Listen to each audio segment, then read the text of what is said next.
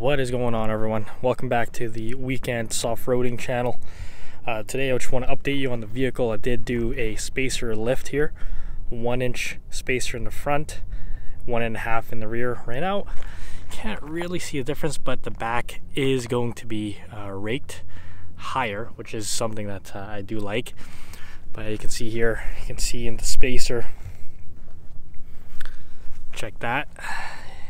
I don't know if you can see that, but there's a spacer there. In the rear, we have a 1.5 inch spacer, and that's gonna be from eBay because uh, I didn't want to do much cutting because uh, most of the kits you have to cut off some some studs on the uh, rear. I didn't want to do much cutting, but I still needed to do some cutting, so didn't really work out. But hey, it's working well, and you don't need to twist the top hat of the rear, uh, which is something I like. Because most lift kits you have to twist, uh, like Aerogenics and I think HRG, but I don't know because I don't have those kits.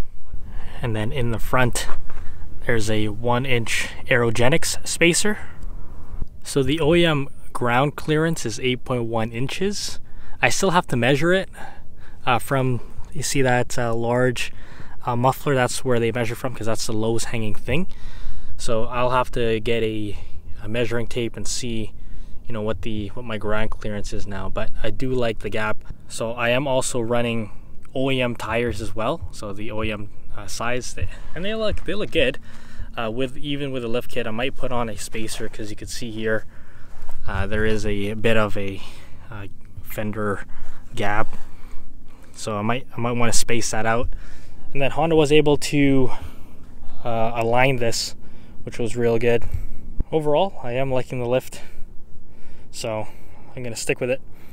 And uh, I'm not getting any vibration issues or axle issues here but I'm probably gonna replace these axles in the next six months or eight months. But uh, yeah I'm not getting anything because again it's not that extreme of a lift.